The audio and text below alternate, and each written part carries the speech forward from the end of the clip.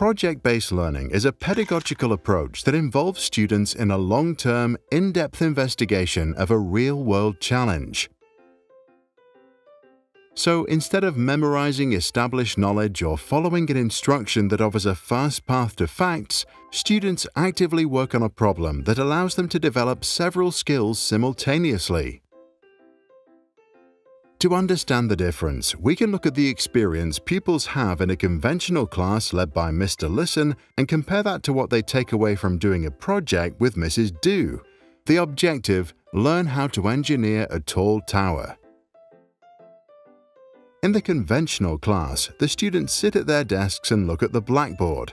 Mr. Listen first goes over some principles of physics and then instructs the students that are still able to pay attention to design the optimal structure for a high tower. When doing project-based learning, or PBL, the students sit in groups.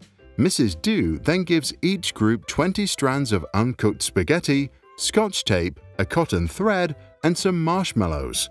Then they are told they have 18 minutes to build the highest possible structure that could hold up the spongy confection.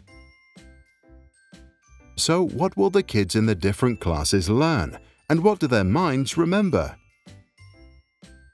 With Mr. Listen, all kids might learn something about towers, a few might learn some engineering, and one could, in theory, learn to construct an ideal tower structure. But just a week later, most will have forgotten everything. Mrs. Do's Marshmallow Tower Challenge activated the kids' brains in various areas and taught the children something about construction, creativity, physics, and teamwork. Maybe more importantly, they learned that if they fail the first time, they can try again and still succeed. They learned to learn, and even decades later, some might still remember that day. The benefits of project-based learning include high engagement and a greater depth of understanding. They practice communication, critical thinking, and creativity, and as a result often experience better learning outcomes in general. Randomized controlled trials involving thousands of students demonstrated that project-based learning significantly outperformed traditional curricula, raising academic performance across academic disciplines.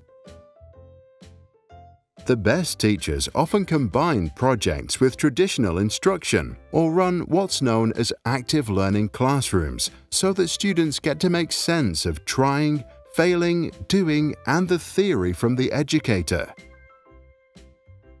What are your thoughts about learning through projects? Since education is allegedly not about what the teacher covers, but what the students discover, is it the better way to learn?